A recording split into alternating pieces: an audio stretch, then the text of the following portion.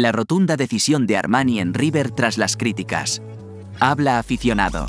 Hola, soy Donato. Gracias por los 700 suscriptores, los amo. Suscríbete y dale me gusta a este vídeo para no maldecirte en el próximo vídeo.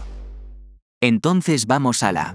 Se conoció la postura del arquero en medio de los rumores de salida del millonario y un potencial regreso a Atlético Nacional. Errores y situaciones puntuales en los últimos partidos de River pusieron a Franco Armani en el ojo de la tormenta. Martín de Michelis, su entrenador, se encargó de resaltarlo en conferencia de prensa. Franco no la está pasando bien en estos últimos encuentros, con desaciertos que terminaron en goles.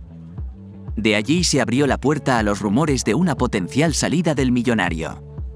Este run run fue impulsado, en parte, por su propia esposa, Después de varios posteos en un momento de furia, alegando poca memoria por parte de aquellos que critican al arquero, Daniela Rendón respondió positivamente a un pedido de un hincha de Atlético Nacional para que regresen a Colombia y el rumor no hizo más que extenderse.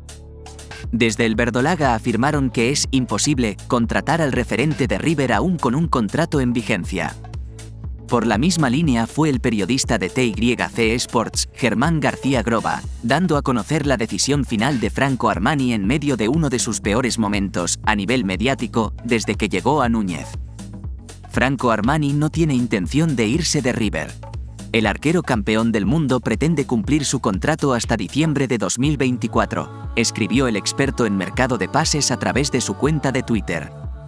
Ante esta novedad, el hincha de la banda puede tener la tranquilidad de que el arco estará cuidado, al menos por un año y medio más.